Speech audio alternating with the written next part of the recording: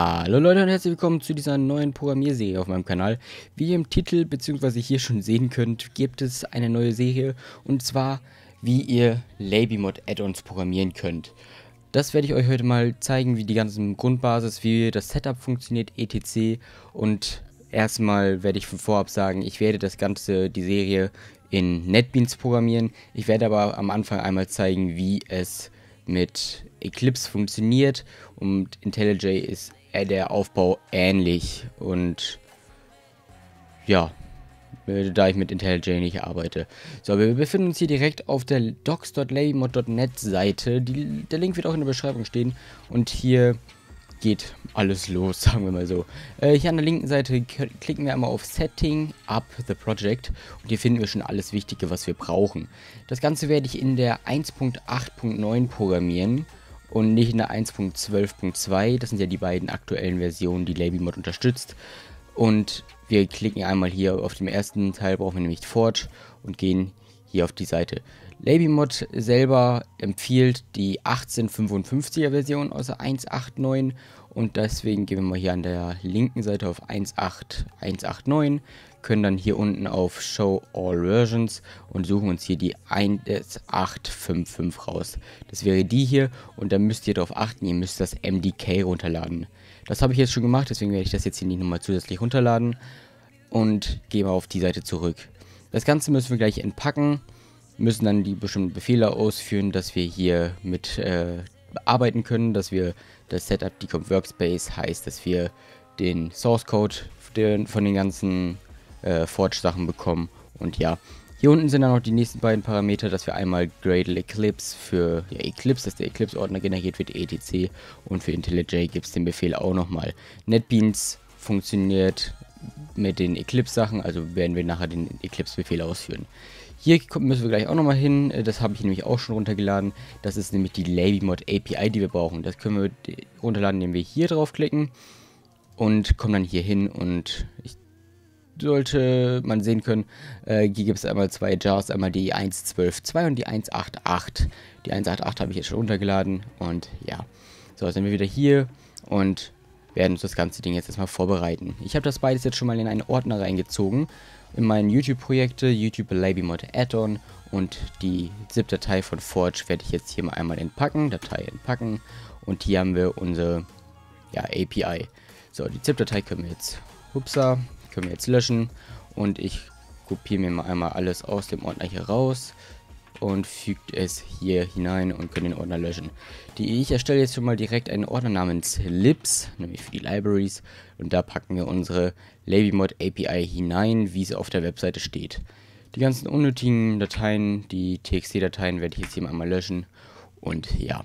Ich mache jetzt rechtsklick, ich benutze dafür jetzt Gitbash als Konsole, ihr könnt auch nochmal äh, CMD bzw ähm, ja, jede andere x-beliebige Konsole nutzen. Ich mache jetzt die Rechtsklick und öffne hier Git Bash. So. Als nächstes, ich gucke jetzt mal nochmal hier hin, haben wir hier die Befehle. Das wäre nämlich einmal hier dieser Gradle, Setup, Decomp Workspace und hier unten wäre das mit dem Eclipse und ID, äh, IDR für IntelliJ. So, wir gehen hier wieder rein. Ich kopiere den hier mir jetzt einmal rein und werde aber hier direkt schon Eclipse mit hinterschreiben, weil das genauso möglich ist und dadurch nicht mehrere Befehle ausgeführt werden müssen. Das Ganze kann jetzt ein bisschen dauern. Es kann auch sein, dass der ein Fehler kommt, dass es nicht ja, gebaut werden kann, da er Java nicht findet. Da müsst ihr einmal die, ähm, den Java-Path in die Umgebungsvariablen setzen von dem Computer. Und ja, ich starte das Ganze jetzt mal eben und lasse es eben kurz durchlaufen. Das könnte eben kurz einen Moment dauern und dann sehen wir uns gleich wieder. So, das Ganze ist jetzt schon fertig gebaut. Äh, hat ganze 25 Sekunden gedauert, war jetzt doch nicht so allzu lange und können dann jetzt die Konsole schon schließen. So, hier haben wir jetzt nochmal die Grundsachen, wie man was in welcher Plattform macht. Einmal Eclipse, einmal IntelliJ, wie man die ganzen Sachen öffnet. Und ja, NetBeans habe ich jetzt hier schon mal geöffnet. Wenn ihr das Ganze in NetBeans machen wollt, müsst ihr noch was zusätzlich installieren. Dafür geht ihr oben auf Tool, Plugins und könnt hier unter Available Plugins nach einem Plugin namens Maven beziehungsweise ach, Maven, namens, äh, hier, wo habe ich es denn? Ähm, habe ich es nicht installiert, oder das habe ich doch installiert. Ähm, warum wird es ein bisschen nicht angezeigt? Da gibt es jedenfalls ein Plugin, womit man, ähm, wie heißt das Ganze jetzt hier nochmal, Gradle verwenden kann. Das sollte hier normalerweise eigentlich mit drunter sein. Ich sehe es aber gerade nicht. Dafür solltet ihr einfach hier, hier nach Gradle suchen können. Und da ist es hier das Gradle Java EE Support. Äh, beziehungsweise da sollte noch ein anderes kommen. Das müsstet ihr einfach installieren. Was ich komischerweise hier jetzt gerade nicht finde, auch wenn es eigentlich installiert sein sollte. Komisch. So, jedenfalls dann kann ich hier auf Open Project gehen und die richtige Datei auswählen. Dann muss ich in meinen YouTube-Projektordner und da habe ich meine Gradle-Datei bzw. den Gradle-Ordner. Klicke auf Öffnen und dann öffnet er das Ganze. Das kann eben einen kurzen Moment dauern. Zusätzlich öffne ich mal einmal Eclipse, wenn ich das Ganze finde. Da, ich habe gerade nämlich extra dafür mal Eclipse installiert gehabt, auch wenn dem Testen, weil ich das herausfinden musste, wie das Ganze unter NetBeans vernünftig funktioniert. Und ja, hier werden wir jetzt auch wieder den, das Verzeichnis aus, YouTube-Projekte, YouTube und hier, bei Eclipse musst du darauf achten, dass du den Eclipse-Ordner auswählst. So, okay, launchen wir das Ganze und ja, das ist der erste Kram, den wir alles hier haben. Das ist das Setup. Wir öffnen schon mal einmal die Zusatzseite für den First Step und einmal den Debug the Add-on, weil das ist jetzt erstmal ganz wichtig, weil wir müssen beim Starten bzw. dem Programm noch Umgebungsvariablen setzen. Das sind nämlich diese drei Stück, die hier in dieser Linie stehen. Einmal, damit er weiß, äh, welcher Core-Mod, also Laby-Mod, geladen wird. Einmal das Debug-Modus, dass wir alle Sachen sehen können an Debug-Nachrichten, etc. Hier werden auch nochmal alle anderen Sachen, die fähig wären. Also man könnte auch rein, sage ich mal, die Teamspeak-Debug-Nachrichten äh, anzeigen oder äh, Spotify oder API, was auch immer. Und ganz hinten ist nochmal angegeben, ähm, die Add-on Resources, weil wir das Ganze ja nicht direkt laden, sondern im, sage ich mal, Entwicklermodus starten. Damit das hier auch so aussieht unter installierte Plugins. Das sehen wir hier im First Step. Da werden wir uns nämlich gleich diese Add-on-JSON erstellen mit unseren Parametern und nochmal ein kleines Exempel. Deswegen äh, empfehle ich euch auch, das äh, Docs von LevyMod zu lesen. Ist ganz einfach alles. Und bei Fragen könnt ihr euch gerne sonst melden. Ähm, da wird jedenfalls noch einiges an Videos auch noch zukommen. So, Eclipse sollte gestartet sein, da haben wir es, genau. Hier ist es nämlich ganz einfach, wir gehen hier nochmal mal zurück und kopieren uns direkt diesen Clipboard. So, wir machen hier Rechtsklick drauf, beziehungsweise hier oben auf unsere Startparameter, Run Configurations und hier drin können wir jetzt einstellen unter unserem Client, unter Argumenten, bei den VM-Argumenten, da würden wir das Ganze hinten einfach mit ranklatschen. Das können wir dann äh, applyen und schließen. Dann würde das Ganze jetzt schon funktionieren. Hier wäre es so, wir müssten unter unserem Hauptordner, hier wäre ja, das ist der Demo-Ordner von Forge, da einfach ähm, ins Root-Verzeichnis hier die Datei anlegen, die JSON-Datei. Das ist aber in NetBeans gleich ein kleines bisschen anders. Diese beiden Sachen werden wir gleich löschen. Und ja, dann äh, schließe ich jetzt schon mal Eclipse, weil Eclipse werden wir nicht mehr brauchen und gehen wieder in unser NetBeans rein. So, das werde ich auch mal ein bisschen kleiner machen. Da haben wir es. So, äh, hier unter Sources haben wir jetzt unsere Demo-Klasse, die standardmäßig von Forge mitgeliefert wird. Ich ziehe das einmal kurz ein bisschen rüber. So, hier drin haben wir dann noch unsere Build-Gradle, da müssen wir nämlich gleich ein bisschen was bearbeiten. Und in Resources haben wir unsere MC-Mod-Info. Die können wir löschen, die brauchen wir hier nicht, genauso wie unter Mod Example und das Package brauchen wir alles nicht. Äh, am Anfang werde ich jetzt hier direkt mal einmal eine Klasse erstellen und das wäre unsere, sage ich mal, unser YouTube Add-on, das nenne ich deswegen auch YouTube Add-on und unser Paket ist me.shortbyte.add-on, nenne ich das Ganze jetzt einfach mal. Und da haben wir unsere Hauptklasse drin. So, wir sollten hier unter Dependencies auch automatisch schon die LM äh, äh, API drin haben, also die Lemon API. Bei Eclipse müsste man das wahrscheinlich noch als Library hinzufügen. Das war jedenfalls bei mir beim Testen am Laptop heute so. So, ähm, also hier ist es schon mit geladen, heißt wir können hier direkt das Extend, das können wir mal kurz testen, äh, mit Laby Mod Add-on. Das brauchen wir nämlich gleich, Laby Mod Add-on, da haben wir es. Und da sagte mir direkt, dass ich ein paar abstrakte Methoden laden soll. Und heißt, die API funktioniert schon mal. Ähm, jetzt brauchen wir aber unsere, wie es hier auf der Seite nicht, auf der Seite steht unsere add-on.json. Deswegen kopiere ich mir einmal den JSON-Kram, was hier drin steht.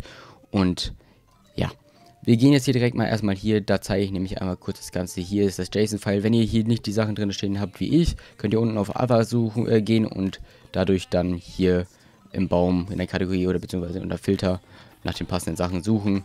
Und ja, da ich JSON hier drin habe, mache ich hier direkt so, JSON.